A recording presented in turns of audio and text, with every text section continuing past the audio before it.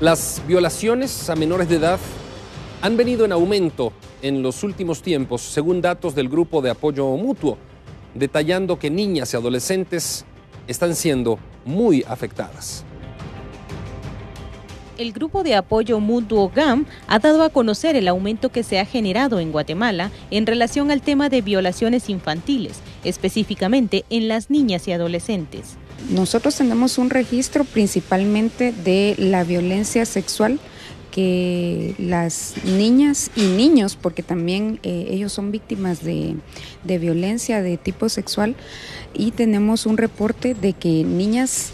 y niños de 0 a 17 años se reportan 874 víctimas del año 2011 al año 2015. Sin embargo, de acuerdo con datos del INASIF, nosotros tenemos un reporte que del año 2008, que se reportaban aproximadamente 2.000 casos de estudios por el tema de violencia sexual. Para el año 2015 hay una diferencia casi de 5.000 o de, o de 6.000 casos que se han eh, reportado ya. Una de las causas que propicia este tipo de hechos es la violencia intrafamiliar, ya que a partir de esto se generan un sinfín de problemas sociales. Obviamente nosotros tenemos que ligar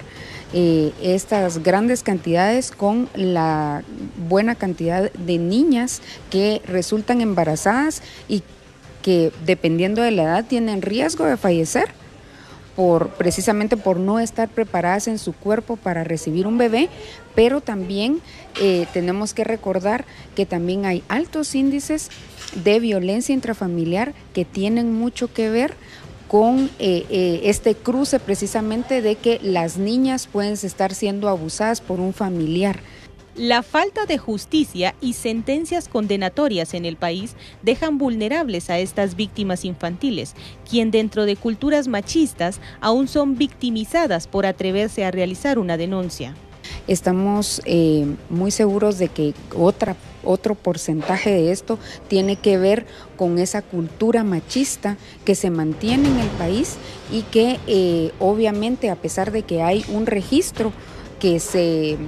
que se puede ver dentro de los, datos del INASIF, también hay un subregistro de denuncias que no se han hecho y que por aún por temor muchas mujeres, en su mayoría que son indígenas,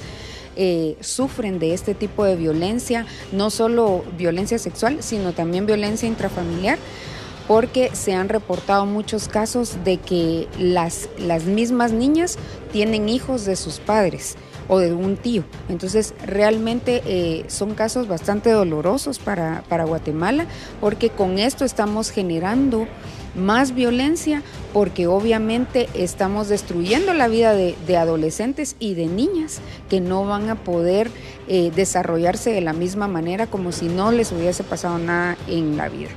El GAM aconseja a las instituciones involucradas en este tema a que realicen su trabajo como corresponde y se agilice el proceso de investigación, así como de justicia para tratar de ir contrarrestando este flagelo.